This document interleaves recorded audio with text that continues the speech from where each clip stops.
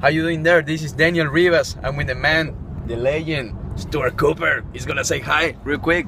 What's up? I'm looking forward to training with you guys. there you go. He's gonna be here tomorrow. He's gonna be at our school tomorrow. Saturday he's gonna be doing a seminar. So if you don't know who Stuart Cooper is, stop training jiu-jitsu right now. All right. And if you don't train jiu-jitsu, you should watch the videos and start training. See you tomorrow. Us.